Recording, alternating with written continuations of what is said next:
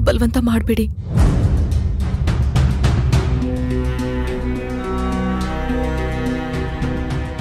ನಾನು ಯಾವುದೇ ಕಾರಣಕ್ಕೂ ಮಾಧವನಿಗೆ ಕೊಟ್ಟಿರೋ ಮಾತನ್ನ ತಪ್ಪೋದಿಲ್ಲ.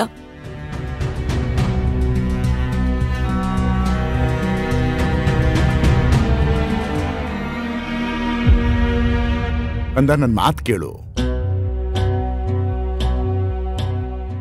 ನಿಮ್ಮ ಮಾವ ಹುಷಾರಾದ್ಮೇಲೆ ನೀನು ಊಟ ಮಾಡ್ತೀನಿ ಅಂತ ಹೇಳಿದ್ಯೋ ಇಲ್ವೋ? ಈಗ ಭೀಮ ಬಂದಿದ್ದಾನೆ, ಎಲ್ಲ ನೋಡ್ಕೋತಾನೆ.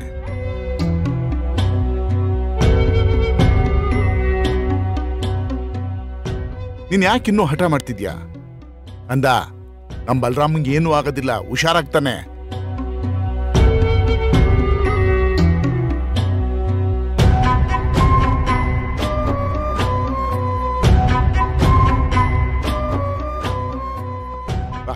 ಊಟ ಮಾಡ್, ಬಾ.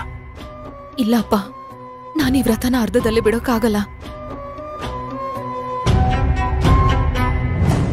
ನನ್ನ ಆರೋಗ್ಯಕ್ಕಿಂತ ಮಾವನ ಆರೋಗ್ಯ ತುಂಬಾನೇ ಮುಖ್ಯ.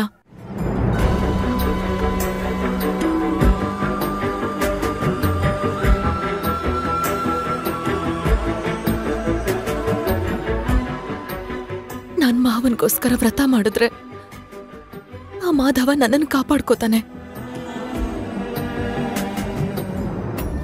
ಈ ವ್ರತನ ಅರ್ಧಕ್ಕೆ ಬಿಡೋ ಮಾತೇ ಇಲ್ಲ. ಮಹಾನ್ ಕಿಲಾಡಿಯವಳು ಎರಡೇ ಮಾತಲ್ಲಿ ಎರಡು ವಿಕೆಟ್ ಬೀಳ್ಸ್ಕೊಂಬಿಟ್ಲು. ಸರಿಯತ್ತೆ ನಾನು ದೇವಸ್ಥಾನಕ್ಕೆ ಹೋಗಿ ಪೂಜೆ ಮಾಡಿಸ್ಕೊಂಡು ಬರ್ತೀನಿ.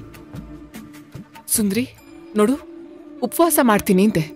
ನನಗಿಷ್ಟ ಇಲ್ಲ ಅಂದ್ರೂ ನಾನು ಒಪ್ಕೊಂಡೆ. ಈಗ ಹೊರಗಡೆ ಹೋಗ್ತೀನಿ ಅಂದ್ರೆ ಯಾವುದೇ ಕಾರಣಕ್ಕೂ ನಾನು ಬಿಡಲ್ಲ. ಇಲ್ಲ ಅತ್ತೆ ಇದು ಮಾಧವನ ವಿಷಯ. ದಯವಿಟ್ಟು ನನ್ನ ಯಾರು ತಡಿಬೇಡಿ.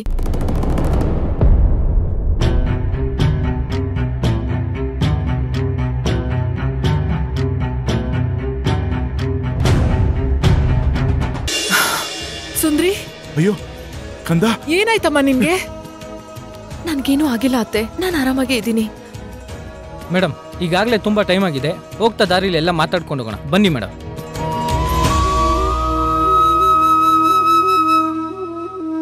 ನಾನ್ ನಿನಗೆ ಹೇಳ್ದೆ ತಾನೆ ಉಪವಾಸ ಎಲ್ಲ ಮಾಡಬೇಡ ನಿನ್ನ ಆರೋಗ್ಯ ಹಾಳಾಗತ್ತೆ ಅಂತ ನೀನ್ ನನ್ನ ಮಾತೇ ಕೇಳಲ್ಲ. ಅತ್ತೆ ನೀವ್ ಯಾಕೆ ಇಷ್ಟೊಂದು ಟೆನ್ಷನ್ ಮಾಡ್ಕೋತಿದ್ದೀರಾ?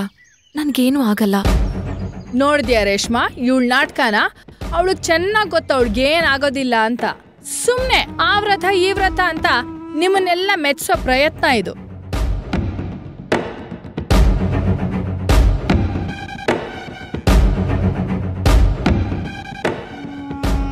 ಅದ್ಕೆ ನೀವ್ ಸ್ವಲ್ಪ ಮಾತಾಡ್ದೆ ಸುಮ್ಮನೆ ಇರ್ತೀರಾ?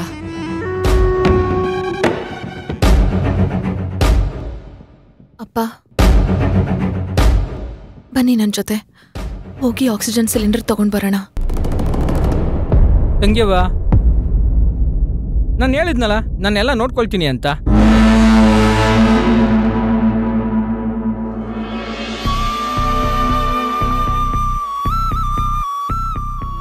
ಈಗಾಗಲೇ ಹುಷಾರಿಲ್ಲ. ನೀನು ಹೋಗಿ ಫಸ್ಟ್ ರೆಸ್ಟ್ ಮಾಡು. ಅದು ಹಾಗಲ್ಲ ಭೀಮಣ್ಣ. ಅದು ಹಾಗೂ ಅಲ್ಲ ಈಗೂ ಅಲ್ಲ. ನಾನೆಲ್ಲ ನೋಡ್ಕೊಳ್ತೀನಿ ತಂಗ್ಯವ್ವ ನೀನು ಹೋಗಿ ಫಸ್ಟ್ ರೆಸ್ಟ್ ಮಾಡು.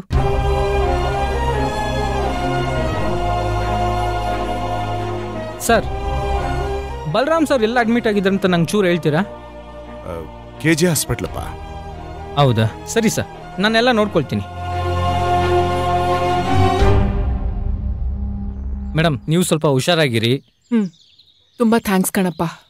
ಬರ್ತೀನಿ ಮೇಡಮ್ ಬರ್ತೀನಿ ಸರ್ ಬರ್ತೀನಮ್ಮ. ನೋಡಿದ್ಯಾ ನಿಮ್ ಮಾವಂಗೆ ಏನೂ ಆಗೋದಿಲ್ಲಮ್ಮ. ನೀನು ಉಪವಾಸ ಎಲ್ಲ ಬಿಟ್ಟು ಊಟ ಮಾಡು ಬಾ. ಹೌದು ಕಂದ. ಬಾ ಊಟ ಮಾಡು ಬಾ. ಇಲ್ಲಾಂದ್ರೆ ಇನ್ನೂ ಸುಸ್ತಾಗ್ಬಿಡ್ತೀಯ ನೀನು. ಇಲ್ಲಪ್ಪ ಪ್ಲೀಸ್.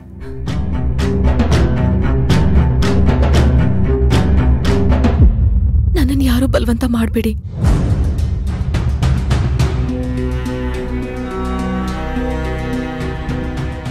ನಾನು ಯಾವುದೇ ಕಾರಣಕ್ಕೂ ಮಾಧವನಿಗೆ ಕೊಟ್ಟಿರೋ ಮಾತನ್ನ ತಪ್ಪೋದಿಲ್ಲ.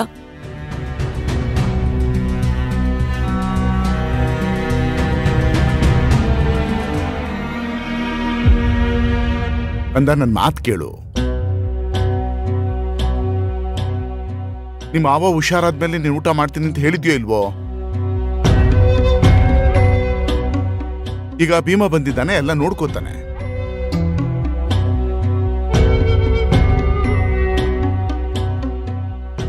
ನೀನ್ ಇನ್ನೂ ಹಠ ಮಾಡ್ತಿದ್ಯಾ? ಅಂದ, ನಮ್ ಬಲರಾಮಂಗೆ ಏನೂ ಆಗೋದಿಲ್ಲ, ಹುಷಾರಾಗ್ತಾನೆ.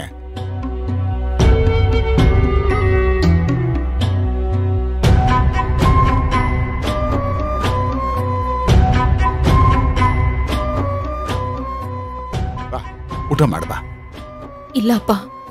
ನಾನು ಈ ವ್ರತನ ಅರ್ಧದಲ್ಲಿ ಬಿಡೋಕ್ಕಾಗಲ್ಲ. ನನ್ನ ಆರೋಗ್ಯಕ್ಕಿಂತ ಮಾವನ ಆರೋಗ್ಯ ತುಂಬಾನೇ ಮುಖ್ಯ.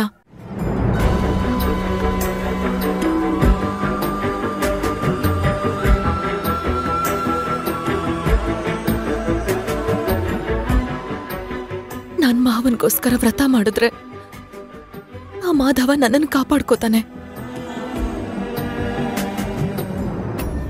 ಈ ವ್ರತನ ಅರ್ಧಕ್ಕೆ ಬಿಡೋ ಮಾತೇ ಇಲ್ಲ. ಮಹಾನ್ ಕಿಲಾಡಿಯವಳು ಎರಡೇ ಮಾತಲ್ಲಿ ಎರಡು ವಿಕೆಟ್ ಬೀಳ್ಸ್ಕೊಂಬಿಟ್ಲು. ಸರಿಯತ್ತೆ ನಾನು ನಾನ್ ದೇವಸ್ಥಾನಕ್ಕೆ ಹೋಗಿ ಪೂಜೆ ಮಾಡಿಸ್ಕೊಂಡು ಬರ್ತೀನಿ. ಸುಂದ್ರಿ ನೋಡು ಉಪವಾಸ ಮಾಡ್ತೀನಿ ಅಂತೆ.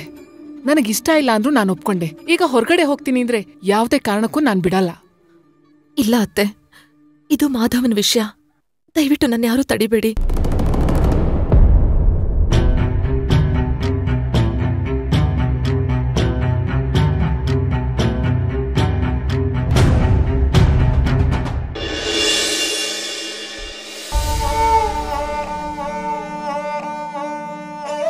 ಸುಂದ್ರಿ.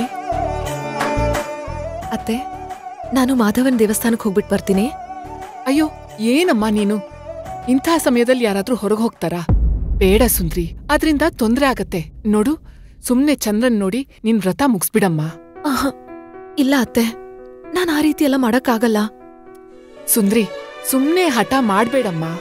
ನೋಡು ಹೊರಗಿನ ಪರಿಸ್ಥಿತಿ ಸರಿಯಿಲ್ಲ ನಿನ್ ಆರೋಗ್ಯನೂ ಸರಿಯಿಲ್ಲಮ್ಮ ಸುಮ್ನೆ ಯಾಕೆ ತೊಂದ್ರೆ ತಗೊಂಡ್ ಹೊರಗೆ ಹೋಗ್ತೀಯಾ? ಬೇಕಿದ್ರೆ ಈ ವ್ರತನ ಇನ್ನೊಂದ್ ದಿನ ಇಟ್ಕೋ. ನಾವಿಬ್ರೂ ಹೋಗಿ ಪೂಜೆ ಮಾಡಿಸ್ಕೊಂಡ್ ಬರೋಣ. ಸರಿನಾ? ಇಲ್ಲ ಅತ್ತೆ. ನಾನು ವ್ರತನ ಮಾಡ್ಲೇಬೇಕು.